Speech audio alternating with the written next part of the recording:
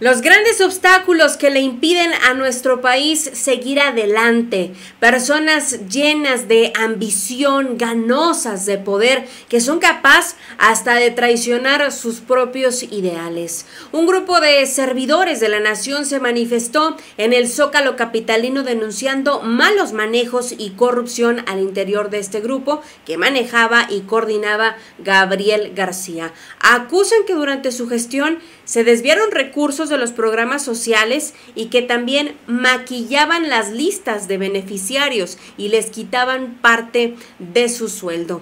Amigos, bienvenidos a un nuevo video de Mercado Político. Me da muchísimo gusto poderlos saludar y antes de entrar de lleno con la información los invito a que se suscriban a este su canal, que activen la campanita de notificaciones para que la plataforma les dé aviso cuando ya tengamos material disponible. Mi nombre es Ceci Villalpando, como siempre un gusto les mando un beso, un abrazo muy fuerte donde quiera que se encuentren y vámonos de lleno con toda esta información. Si de por sí fue sospechosa la salida de Gabriel García de esta coordinación de los superdelegados, de los servidores de la nación, se regresa al Senado y la pregunta es ¿por qué? ¿Por qué la prisa? ¿Por qué eh, traer esa sensación de que está traicionando y que está haciendo malas cosas dentro de la cuarta transformación? porque se habla eh, cantidad de ocasiones que los propios siervos de la nación pues no estaban haciendo eh, precisamente cumpliendo con esta encomienda que les dictó el presidente Andrés Manuel López Obrador. Y bueno, parte de esta información es estos servidores de la nación de varios estados que se manifestaron en el Zócalo Capitalino, eh, un paro nacional de estos empleados con el fin de denunciar estos supuestos actos de corrupción. Y mire, esta es parte de la información. Susana López, servidora de la Nación en Durango, denuncia acoso laboral y sexual de parte de estos delegados en el estado de Durango. Gabriel García dice, nos mintió, nos prometió que nos iban a reinstalar inmediatamente, cosa que no pasó. Esta es parte de una entrevista que diera pues esta servidora de la nación. El 11 de marzo eh, Gabriel García todavía era el delegado nacional y él nos prometió que nos iban a reinstalar inmediatamente. Cosa que no pasó, solamente reinstalaron a los de aquí del Estado de México. A lo que fue Coahuila, Sinaloa, Nayarit y Durango no los reinstalaron todas estas quejas se las hemos hecho constantemente saber al presidente por medio de la función pública, escritos. Ayer una reportera habló en relación a los compañeros de Jalisco. Nosotros también ya hicimos. ¿Cuál fue el motivo del despido y cuántos despidieron? En Durango han despedido más de 50 personas, así nada más. Nos marcan por teléfono o vía WhatsApp y te dicen ya no se te va a renovar el contrato. Eso es toda la justificación. ¿De cuánto tiempo es el contrato? Es cada tres meses.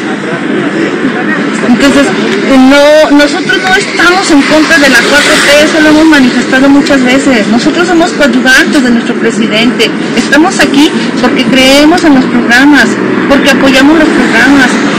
lo hemos dicho muchas veces, los programas son maravillosos. Los que pervierten los programas son los delegados. Los que hacen actos de corrupción y malos manejos son los delegados y los regionales que ellos tienen. ¿Quiénes son? En el caso de Durango es Edgar Morales Garfias y Andrés Barba Isaac Martínez. Él, ellos, a nosotros seis en Durango, después de que nos manifestamos 30 días en el exterior de la Secretaría, el delegado nos demandó en la, en la por eh, despojo, sabotaje y obstrucción a la obra. Tuvimos una audiencia los primeros de marzo, afortunadamente el juez dictó eh, todo a nuestro favor porque no encontró ahí ni obstrucción de obra, ni despojo, ni sabotaje. Pues ahí están las palabras de esta representante del estado de Durango. Usted me dice pues qué opina al respecto de esta situación porque el descontento con varios eh, de estos servidores eh, fue constante en este, en este camino de la dosis, de la contingencia, de como usted quiera, y decían, es una burla, denle el mensaje a Obrador, los servidores de la nación, ¿para qué madre sirven? Pobladores de Oaxaca reclamaban así esta desorganización que tuvieron allá precisamente en este estado y les digo, no es la primera vez, había de todo videos donde negaban también eh, la aplicación. Vamos a, a, ver precisamente este video donde este señor reclama y exige le hagan saber al presidente Andrés Manuel López Obrador este tipo de abusos. Reclamar, ¿qué castigo va a haber? Porque es una burla esta gente que ya dejó su vida acá en el pueblo. Los están engañando. Dale el mensaje, obrador. O eso o no es. Los señores servidores de la nación, ¿para qué madre sirven? Ni estuvieron allá. Hubo gente del municipio ahí, pero los servidores de la nación, ¿por qué no tienen un control? ¿Por qué engañan a la gente? Pues ahí está parte de estos reclamos del pueblo mexicano. Ahí está también esta protesta de supuestos servidores de la nación que dicen pues eh, son despidos injustificados, falta de derechos laborales y hasta irregularidades en el manejo de los programas sociales, ¿no? Mire, parte de las reacciones dice Salvador, me consta personalmente que muchos servidores de la nación son unos auténticos huevonazos, dice, creyeron que iba a ser el neopri nepotismo, apatía y chanchulleros conformaron brigadas completas de inútiles. Es el sentimiento de, la gente, ¿no? Dice Beto, mordiendo la mano que les da de tragar, seguramente son una bola de conservadores infiltrados en las filas de los verdaderos servidores de la nación. Ahí expresaba esta mujer que, que veíamos el video, pues que no, que no están en contra de la cuarta transformación, decía ella, pues que están ahí para servir. Dice, la derecha conservadora se ha infiltrado en los servidores de la nación para querer desestabilizar a la 4T. Otra vez Felipe Calderón. Detrás de esto sería la pregunta. Dice, mendigos buitres neoliberales y fifís, como se les acabó la fregadera, dice, ahora sí reclaman y como antes no. Y bueno, pues aquí eh, sigue esta manifestación, dice servidores de la nación de varios estados, se manifestaron frente a Palacio Nacional donde expresaron que apoyan totalmente al presidente, pero denuncian los malos tratos, acoso y despidos injustificados en sus centros de trabajo.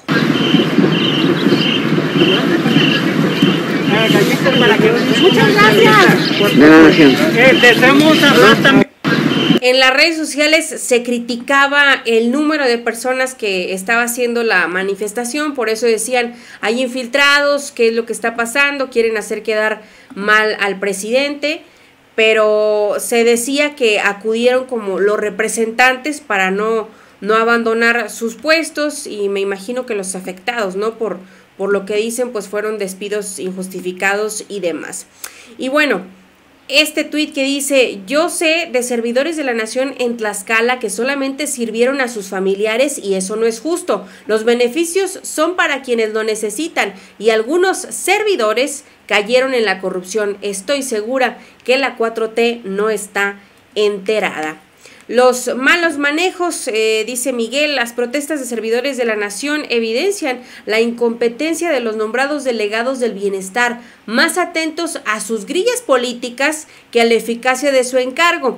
Dice el presidente confió y Gabriel García lo decepcionó. Urgen delegados más sensibles y aplicados y por supuesto pues que no se roben estos, estos recursos que son destinados eh, precisamente para la gente que más mal lo necesita. Dice los servidores de la nación negando vacunas a los adultos mayores.